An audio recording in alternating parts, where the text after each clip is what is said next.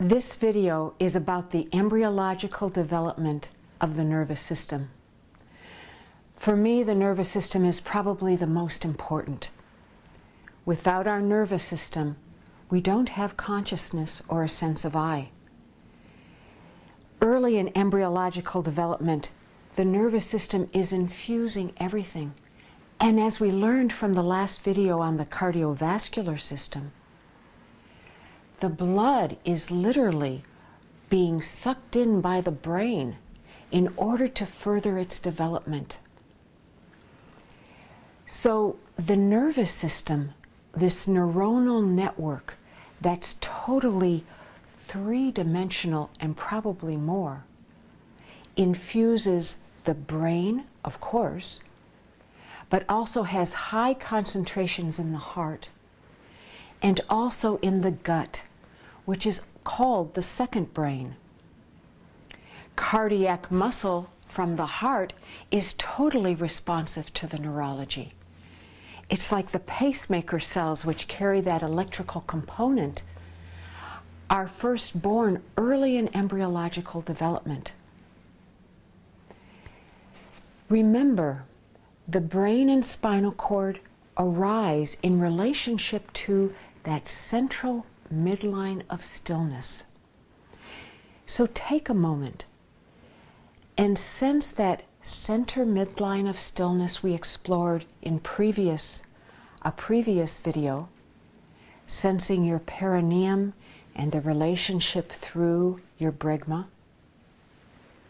And just settle again into that space. What begins to form posterior to that is your spinal cord and brain. Brain and spinal cord.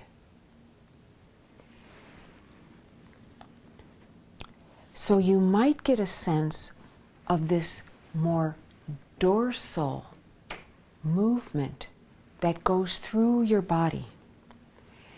This descending information from brain and eventually all the peripheral ascending feedback from your world. The brain and spinal cord develop first as a hollow lumen or tube. In the embryo disc, the ectoderm rises up and forms a neural plate. This neural plate then becomes a groove. And again, it's mirroring that central midline of stillness. Eventually, what happens, the groove begins to form a tube. Now, what's fascinating, and this goes to the, the metabolic fields that literally shape the embryo. But this outer side of the tube is, of course, closer to the mesodermal blood supply, the loose connective, spongy, blood filled connective tissue. It's growing faster.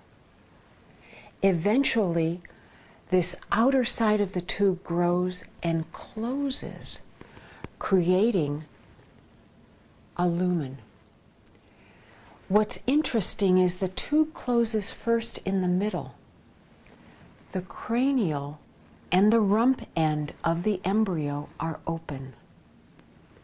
This next process is called neurulation, where the cranial end begins to close and then the caudal or rump end. What will become the cerebral spinal fluid, first known as the amnion, now is trapped inside this lumen or tube. The entire brain grows around what will become the future ventricles, those deep, spacious structures inside your head where cerebral spinal fluid is made. But initially, what happens is that you have the material, the tissues that form the ventricles, Then you have what will be the white matter, and then the gray matter forming, and then the pia mater. All of these different functional systems of our neurology begin to form so deeply in relationship again to a spacious center.